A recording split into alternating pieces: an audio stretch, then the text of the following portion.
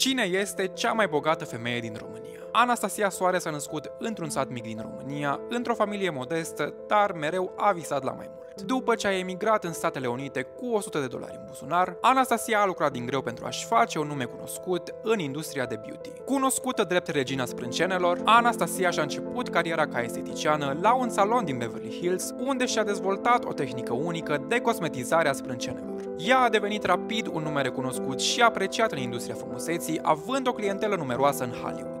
În anii care au urmat, Anastasia și-a extins imperiul, lansându-și și o linie proprie de cosmetice care au devenit rapid un fenomen global. Printre clientele și prietenele care îi calcă pragul se numără Oprah, Kris Jenner, surorile Kardashian, Heidi Klum, Sofia Vergara, Jennifer Lopez, Naomi Campbell și multe, multe altele. Astăzi, brandul Anastasia Beverly Hills este unul dintre cele mai puternice și influente din industria beauty, iar Anastasia Soare